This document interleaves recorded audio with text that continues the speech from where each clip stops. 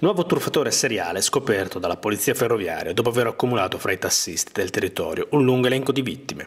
L'uomo, un 31enne romano, con già all'attivo numerosi precedenti analoghi, è stato denunciato all'autorità giudiziaria. La truffa era ben congegnata ai danni della categoria dei tassisti, con lo scopo non solo di utilizzare gratuitamente il servizio, ma addirittura di guadagnare laddove invece si sarebbero dovute pagare le singole corse.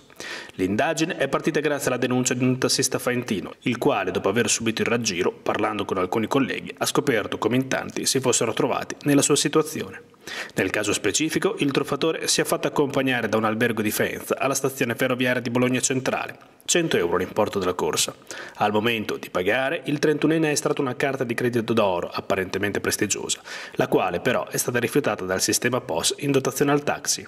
Il cliente ha provveduto quindi a trovare una soluzione alternativa pagando la corsa con un bonifico telematico tramite cellulare con una cifra però superiore, 200 euro, cifra minima per quella tipologia di bonifici, a detta dell'uomo, versato versato direttamente sul conto corrente del tassista.